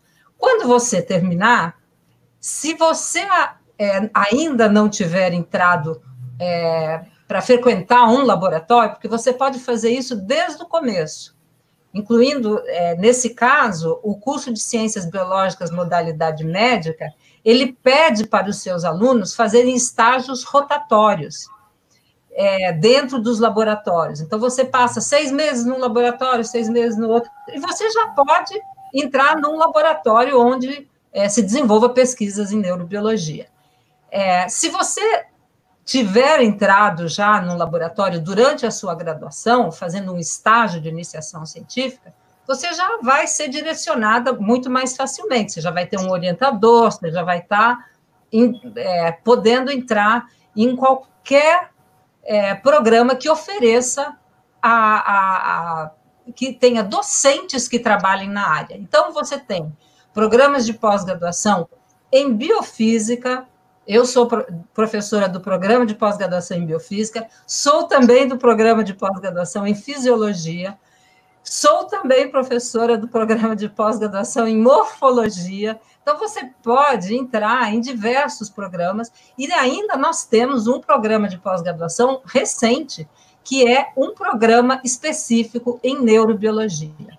Então, você pode escolher, são todos programas de pós-graduação muito bem conceituados, eh, que te oferecem uma grande formação, uma formação eh, de excelência para depois você é, poder tocar mesmo você um laboratório de neurociências. É, tem uma outra posso, pergunta. Posso responder para a Júlia Souza, que está perguntando quais. É isso, eu, é isso, que eu, ia falar também das bolsas. Pode falar. Quais os tipos de bolsa? Depois você me completa, Jorge. Quais os tipos de bolsa que, que pode se conseguir na universidade sem ser a bolsa permanência? São várias, várias possibilidades. Então, é, uma delas é, é, se você tiver interesse em pesquisa, você pode fazer iniciação científica, e aí tem bolsas de iniciação científica específicas é, para alunos de graduação. Essas bolsas podem ser oferecidas por várias agências de fomento, como FAPERJ, a própria universidade tem bolsas num programa especial, CNPq. Então, é, tem um, um conjunto de bolsas. Mas você pode também conseguir fazendo monitoria, que é o aluno que ajuda o professor a dar os seus cursos. Então, ele vai ter uma formação. Por exemplo, você fez um curso, eu dou um curso que é cardiovascular respiratório, a bioquímica do sistema cardiovascular respiratório. Então, se algum aluno se interessa muito por essa área, ele pode vir me ajudar a dar o, a dar o curso, aí ele tem uma formação especial e ele pode, passando, fazendo uma prova, é, sendo selecionado, ele pode é, receber uma bolsa de monitoria. Você tem bolsas é, de extensão, então, se você quer participar de um projeto de extensão, é, e tem bolsas vinculadas a esse projeto, você pode receber essa bolsa. Tem bolsa de iniciação tecnológica ou de inovação, que você também pode receber. É, hum, que mais que pode ter? Acho que são basicamente essas, né? Se tiver mais, mais muitas. Tem, é, tem bolsa de iniciação. É, pode. Tem bolsa de iniciação artística tem bolsa de. É... Jorge, completa para mim. Então, é, na PR7, no site da PR7, você vai ter contato, vai ter todas as informações até dos valores. Mas a gente tem o auxílio moradia, nós temos a inclusão digital, que essa é bem recente, foi lançada agora para as aulas remotas. Nós temos o auxílio alimentação, auxílio transporte. O auxílio alimentação é para quem não pode nem pagar o restaurante universitário, né? que é dois reais, acho que ainda está dois reais. Nós temos também auxílio educação infantil para aqueles alunos que têm filhos, né, e têm a guarda dos filhos, né. Nós temos também auxílio material didático, porque alguns cursos têm um material didático muito caro, então a reitoria também dá esse auxílio. E o último também, o auxílio emergencial da Covid, porque alguns alunos ficaram em situação de risco. Então, todos esses auxílios estão no site da PR7 e eles, para você solicitar o auxílio, você tem que é, entrar no edital, preencher, colocar os seus documentos mostrando que você necessita de fato daquele auxílio, tá? Exatamente, é isso que eu ia é, completar o que a Georgia falou. É, entrando no site da UFRJ, você procura lá Pró-Reitoria de Assistência Estudantil, que é que ela falou que é a PR7. E lá você tem um elenco enorme de bolsas. Agora, vale a pena também comentar que a demanda é muito maior do que a oferta que a UFRJ pode é, fazer. Estamos trabalhando cada vez mais, a reitoria tem feito isso com muita dedicação, com muita seriedade. Estamos vendo agora, temos editais de bolsas para auxiliar os estudantes a ter recursos é, de, de, computadores, de, de chips, de, de, para que possam ter acesso à internet, porque nós teremos ainda por algum tempo o ensino sendo exclusivamente remoto. Então, é importante olhar e ver essas possibilidades que existem na universidade. Tem uma pergunta. Só, só complementando em relação à bolsa, as bolsas de iniciação científica, produção artística, extensão, é, normalmente elas têm a duração de 12 meses. Agora, as bolsas de auxílio, eu não sei se tem duração de 12 meses. E aí eu peço socorro à professora Georgia, ou então ao professor Luiz Eurico, ou quem mais possa responder. Que foi uma pergunta feita no chat também. É, a pergunta foi quanto tempo é a bolsa de, de, de permanência?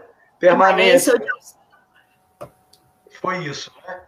Eu não sei. É, é, a universidade está tentando fazer com que a bolsa, essa bolsa não é dada e é, ela tem uma validade por todo o curso, ela tem que ser olhada a cada ano, a cada dois anos, se não me falha a memória, e depende da matrícula do estudante. Então, ela pode durar o curso todo do estudante, do aluno, mas ela, tem, ela é avaliada é, anualmente em função das matrículas do aluno nas disciplinas do curso. Então, existe essa possibilidade, mas é, há uma variação ao acompanhamento, digamos, do que é do, do curso ao longo, da bolsa ao longo do curso. É... Tem uma Lina, você quer, quer responder essa ou eu posso responder? Posso, posso responder. É essa, é, Débora, quais as áreas de trabalho do biomédico? Vocês podem me completar, se quiserem, por favor. É, o curso de biomedicina é, foi, foi criado inicialmente, alguns anos atrás, uns 30, 30 anos, eu acho, 30, acho quase 40, né? É, é, especialmente para formar pesquisadores da área básica da medicina. Então, pesquisadores que é, na área de bio, bioquímica, de histologia, anatomia, que agora é mais conhecido como morfologia, né, é, farmacologia, é, e as áreas que, que sustentam né, a medicina. Com o tempo, né, o biomédico passou a atuar em, em outras áreas. Então, de preferência, né, ele é formado para ser um pesquisador, pelo menos na UFRJ. Mas ele pode atuar também na área de análises clínicas, pode atuar em empresas de biotecnologia, por exemplo. É, se vocês tiverem mais algum exemplo, acho que. Complementar? Pode, claro. É, eu já coordenei há, sei lá, uns 10 anos atrás, eu coordenei o curso de Ciências Biológicas é, modalidade médica, que é como os alunos acabam chamando o curso de biomedicina, mas o nome correto é esse, ele sai um biólogo na modalidade médica.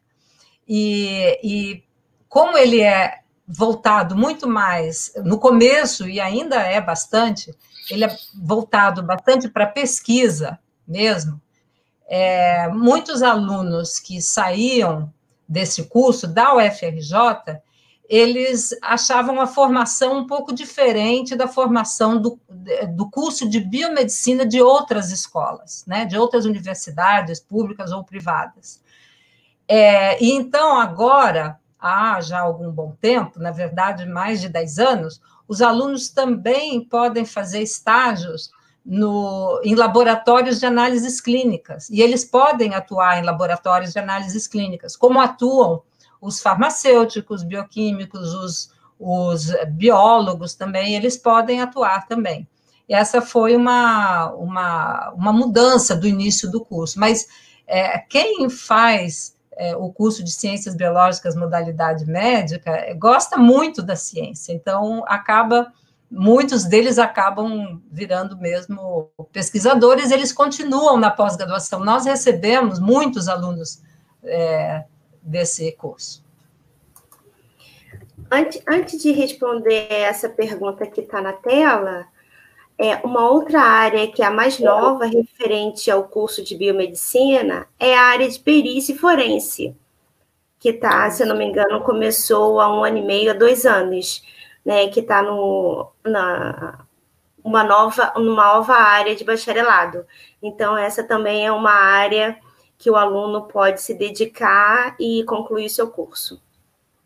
Exatamente.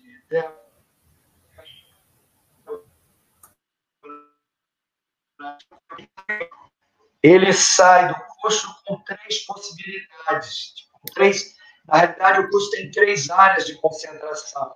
Uma que se dirige para formar um pesquisador, então, na área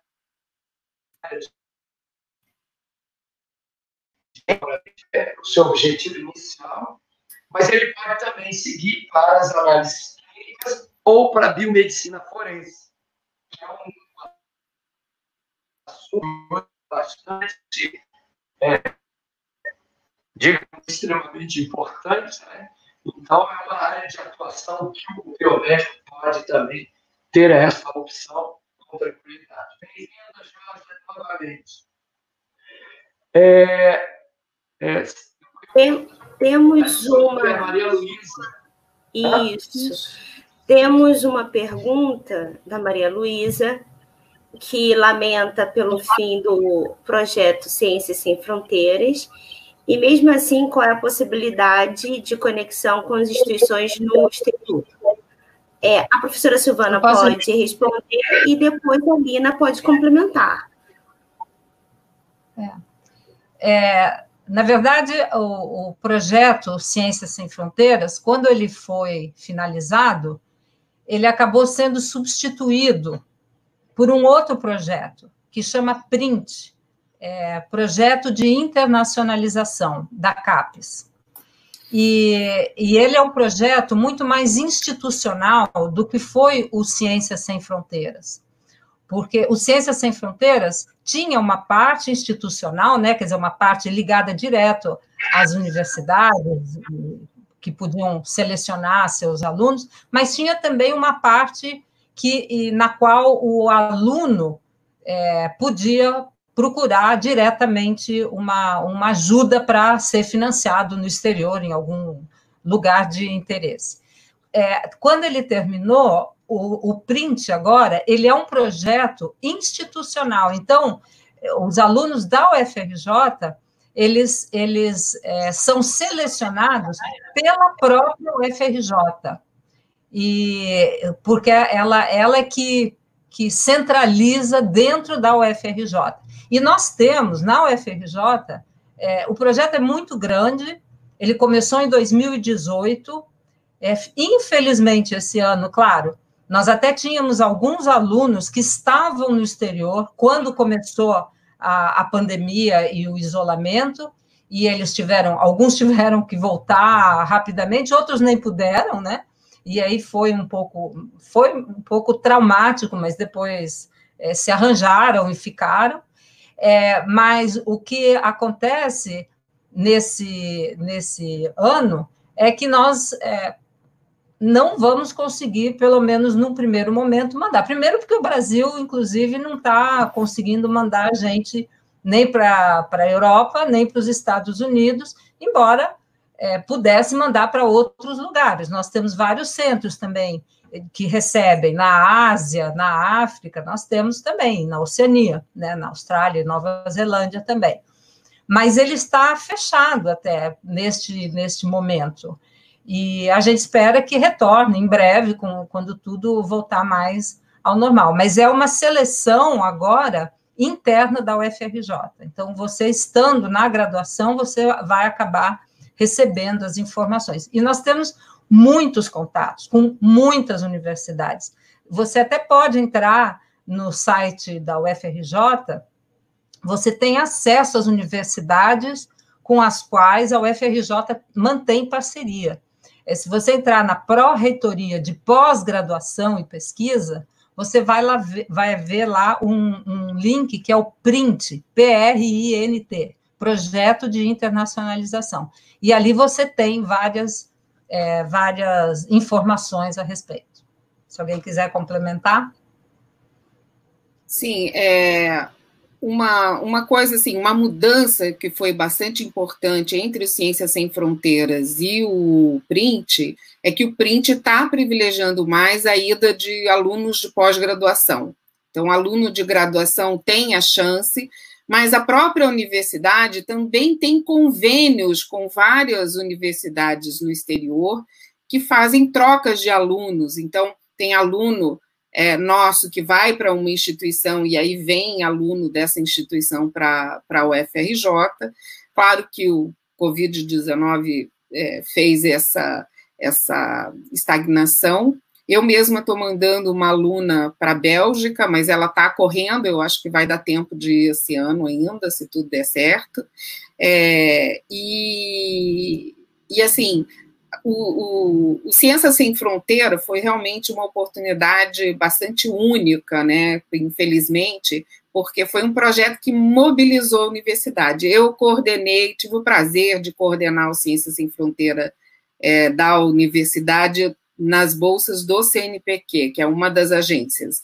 É, tinha outro coordenador para outra agência, que as bolsas eram mandadas pelos, pelos dois lugares. Então, é, a gente conseguiu ver o entusiasmo das pessoas, a mobilização que foi é, fazer essa ida e como os alunos voltavam com, com visões diferentes de universidade, a gente trocava ideias essa, eu acho que essa marca da experiência no exterior para um aluno, seja ele de graduação ou de pós-graduação, ela é extremamente importante para a universidade. Não só de mandar alunos, mas também de trazer alunos para dentro da universidade, de fora, porque essa convivência é, dos nossos alunos com alunos estrangeiros dentro da nossa universidade também constitui uma forma de internacionalização e uma forma de crescimento. Então, é, a gente espera que a gente tenha a oportunidade de resgatar esse tipo de, de intercâmbio também de forma bastante é, forte, né, a partir dos próximos anos. Acho que é isso. Não sei se alguém quer completar. Não, acho que é isso mesmo. Alguém tem alguma coisa a completar? A, a, a eu, eu Débora, eu, eu, eu só Sim, queria professor. fazer um comentário que há oportunidades de intercâmbios, como foi já comentado pela professor, pelas professoras Silvana e professora Lina, é, existe ao longo de todo o curso. Né? Agora, eu queria chamar a atenção que hoje, se nós não fizermos, não estivermos no contato direto com todo mundo, a gente não vai se desenvolver. Então, a universidade está muito preocupada com a internacionalização, que envolve, isso foi a, que acabaram de falar, que é levar professores, levar estudantes para fora, receber na nossa universidade professores e estudantes de uma forma que hoje, se nós não fizermos isso, nós não poderemos crescer. A ciência, ela tem que circular e, felizmente, é possível fazer isso. E nós estamos apenas esperando que este tempo terrível dessa crise que estamos vivendo passe logo. Ok. Sim. É, só dar um aviso, no chat já foi colocado o, o link que tem informações de vários cursos de graduação com diferentes modalidades, né, como o caso da biomedicina, que são três especializações, três formações diferentes. É, não cabe aqui a gente dar atenção para todos, infelizmente, falar mais, mais particularidade do curso de enfermagem ou terapia ocupacional, assim como os outros. Então, é, todas essas informações vocês podem ter nas lives dos cursos no endereço colocado no chat. Vamos à próxima. É... Posso falar, responder uma pergunta? Pode, pode. Então, a Manu Martins já perguntou duas vezes também em relação à transferência da UERJ para a UFRJ. É, nós temos um edital que se chama Povoar. Então, esse edital geralmente sai em setembro, e é o edital onde nós colocamos todas as vagas disponíveis para transferência interna e transferência externa. Então, você deve procurar o curso que te interessa, né, do seu interesse, e olhar para ver se a UFRJ está fornecendo alguma vaga, tá? Para você poder pleitear, tá? E aí você entra no processo seletivo. Muitas vezes o processo seletivo é com uma prova, em outros casos é com a nota do Enem, tá? Aproveitando a sua fala, Georgia, tem muitos alunos perguntando como que será, quando que será o ingresso é, do, daqueles que fizerem o Enem agora em 2021? Já respondi. Já? Desculpa. Já respondi que vai ser, vai ser em torno, vai ser em março ou abril, provavelmente em abril. Tá ok. Passou despercebido. Mais algumas perguntas? Aqui eu vejo mais perguntas relacionadas especificamente a diferentes cursos de graduação. Georgia, Sim. você é a pessoa mais indicada para responder a pergunta da Débora Nascimento. Ah. Que é na área de educação física, eu posso fazer licenciatura e bacharelado ao mesmo tempo? Ou só um de cada vez? Então, isso no passado era possível você fazer um curso, porque o bacharelado e a licenciatura eram parte do mesmo curso. Agora eles são cursos distintos. Então você tem que fazer um, um novo Enem. É como se você quisesse fazer educação física e nutrição ao mesmo tempo. São cursos diferentes. Então você deve fazer o um novo Enem.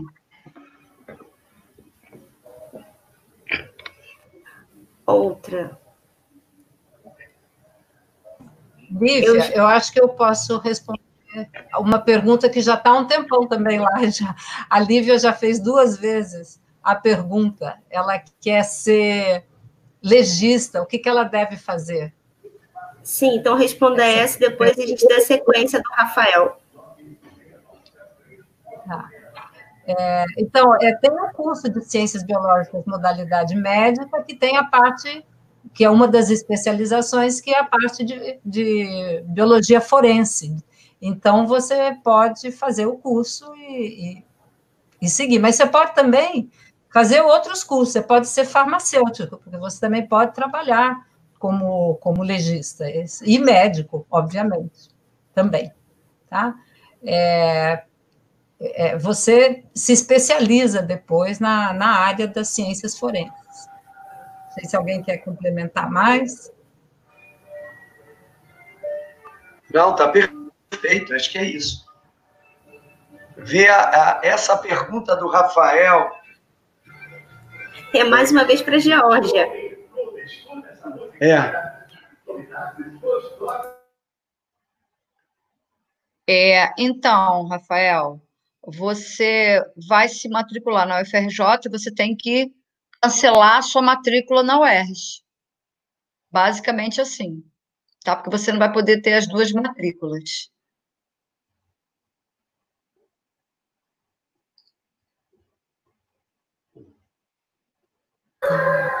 Gente, temporariamente eu não posso abrir o meu microfone por causa do caminhão do som que está passando na rua. Então prossigam, por favor. É, tem uma, uma, uma pergunta também que é, a Júlia Souza fez novamente. A Júlia está danada hoje aí, é? Toda hora. Júlia, então, a fisioterapia, ela oferece residência para multiprofissional só. Ela não tem nenhuma especialização em uma fisioterapia especial, é multiprofissional, tá? Lina, você quer, você quer responder aí a Eduardo? Está falando. Eu não estou entendendo qual a diferença entre bio. Eu tô, acho que é isso, biomedicina. É, micro, é, agora sumiu. É, microimuno. Eu, eu não entendi muito bem qual, qual é a questão Esse, que ela está. Está perguntando, eu acho que, é, que a Georgia pode falar quais são os cursos. Você tem o curso de Ciências Biológicas, modalidade médica, Biologia, é, modalidade micro, né, mas não tem imuno. Tem, é microimuno. Ah, microimuno. É micro tá e, e medicina. Biofísica. Biofísica, temos, ah, é, é verdade. É ingerente em biotecnologia, que também o CSS também participa.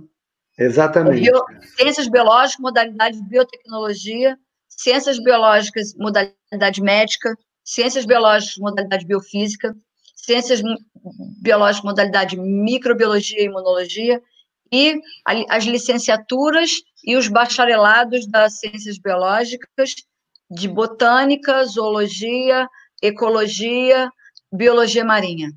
Genética. Então, são muitas. Genética. Genética. Genética. São muitas é. biologias. Cada, então, se, é, se eu entendi bem a sua pergunta, eu acho que sim, cada um tem focos bastante específicos. Né? Exatamente. Né? Eu falei um pouco da, da biomedicina, que tem essa, essa parte voltada um pouco mais para a formação de pesquisadores. A, a Débora completou, falando que agora tem uma área forense, tem uma área de análises clínicas.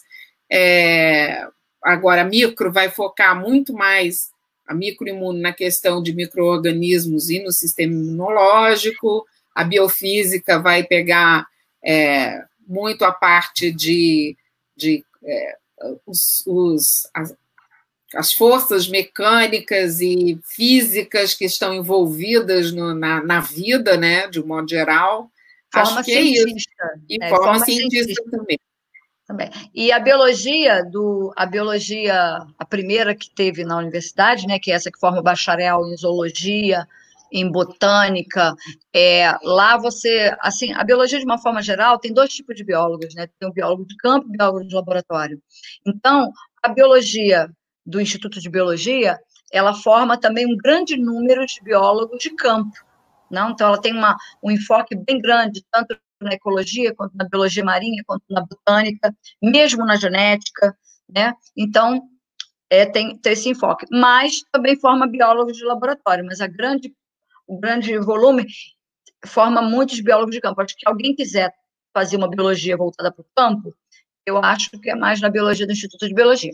Apesar da biologia da microimuno também ter uma parte ambiental com as bactérias, né? Que também é bem forte, a microambiental. Tem.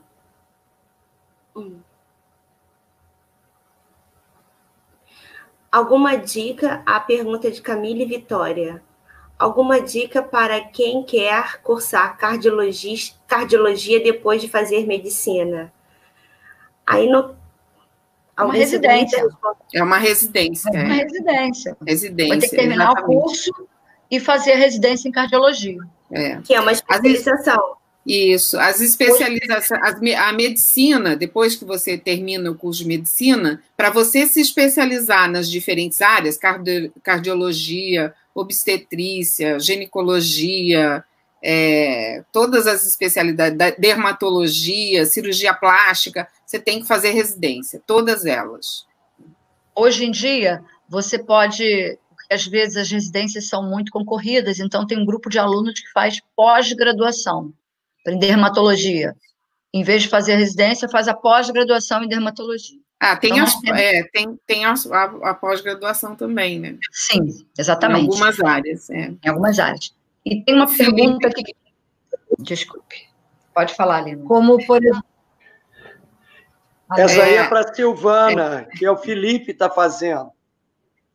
Felipe, é, a pós-graduação em neuropsicologia vai ser dentro de algum programa de pós-graduação em que, em que você possa, no qual você possa ser orientado por um professor é, de interesse da, seu. Então, se esse professor é, orientar dentro de um programa de pós-graduação na área da neuropsicologia, você pode, você pode fazer vários programas de pós-graduação.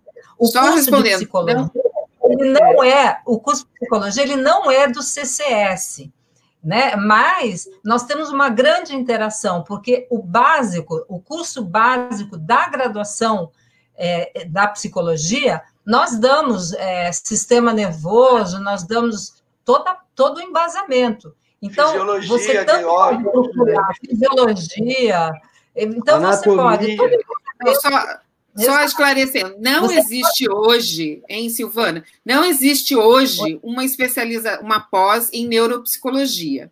Mas não isso existe. não impede que você faça uma, um, um projeto de pesquisa nessa área.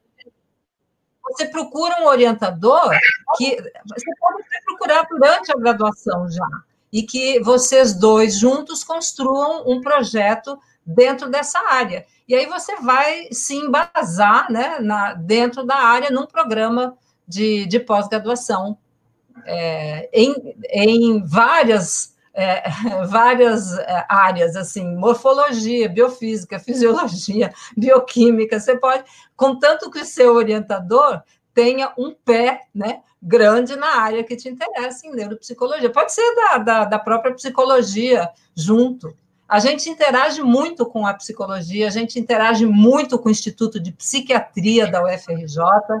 Então, é, a, os institutos e, e, centros, eles são bastante integrados, e isso, isso é, é a riqueza da nossa universidade. Ok? Silvana, só, aprove... só, aproveitando a fala da Silvana, tem um questionamento aqui. Se na UFRJ há uma pós-graduação em fono, Pós-graduação em fono, não, não ainda. É, tem, vai ter, já está em trâmites uma pós-graduação em fisioterapia. Mas é a mesma coisa, se você quiser, olha, até eu posso falar mais da fisioterapia, porque eu já tive vários alunos de mestrado e doutorado da fisioterapia. E eu tive só uma aluna de iniciação científica que era da fonoaudiologia, mas ela não quis continuar a pós-graduação. Ela, ela parou depois da graduação, foi trabalhar como profissional fonoaudióloga. Mas todos esses mesmos programas que nós oferecemos é, no CCS podem também, é, se, se tiver um interesse, é, pode, pode ter um orientador ou dois orientadores que interajam e que, e que te orientem na área, incluindo, olha só, em fono, tem uma grande interação com a faculdade de letras, né? Porque tem realmente tem uma grande interação que tem neurolinguística também. Então tem é, tudo depende de você na sua graduação já ficar prospectando quais são os laboratórios onde você pode é, desenvolver depois o seu a sua pós-graduação. Tá ok?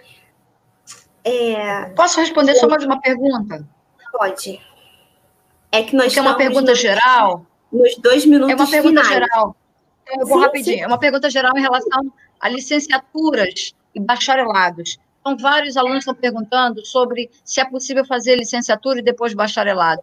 O, inver, o, o inverso é verdadeiro. Você pode fazer o bacharelado, e porque o MEC ele lançou, ele, ele a gente está com um processo de formação de mais professores, então. Uh,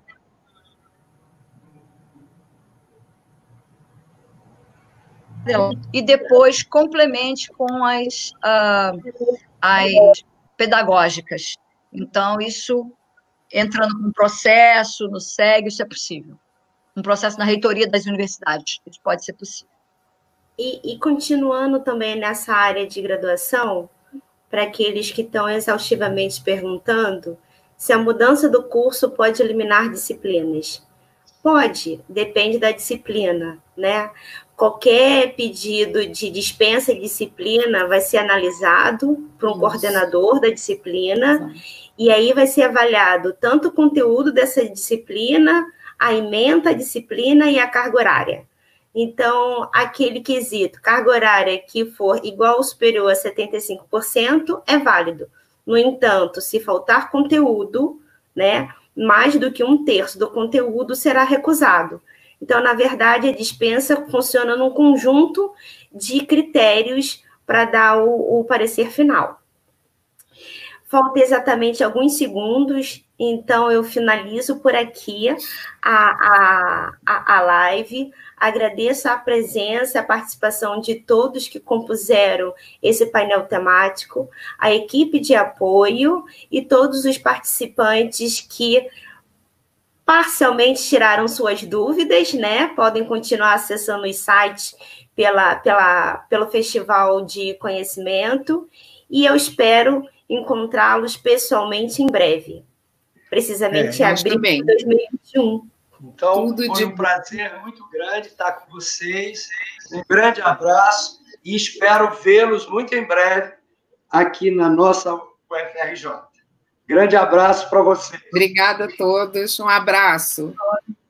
Boa Tchau. noite. Boa noite. Tchau. Tchau.